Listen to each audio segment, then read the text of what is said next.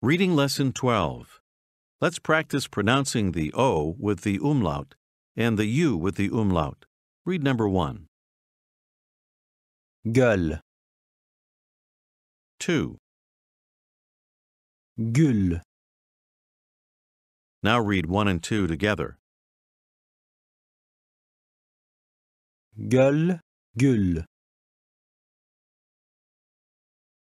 Read number 3. The ending sounds like R. göller, 4. gördünüz mü? Number 5. Başörtüsü, Number 6. şoför,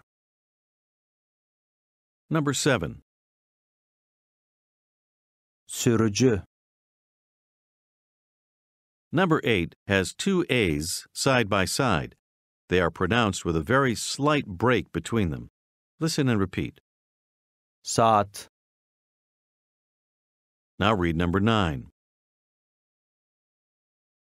kaç saat sürer?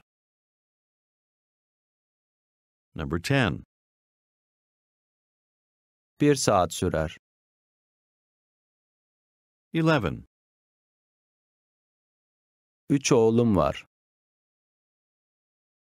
The Turkish A is generally like the A in father. But in some words, as we have heard, the A is pronounced slightly longer than usual.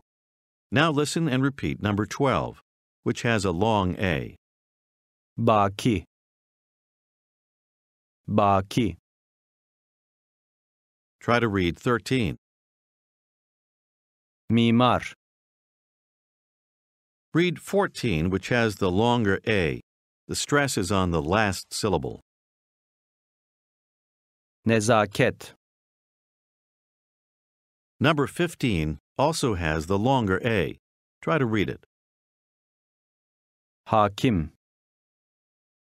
Read 16, which also has the longer A. tarih, Now look at number 17.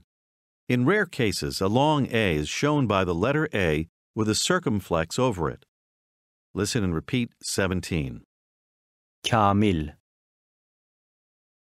The long A affects the sound of a preceding K, making it sound softer, somewhat like kya or cha. Try to read number 17. kâmil, kâmil, Try to read number 18. kar, 19. kağıt, 20. bekar.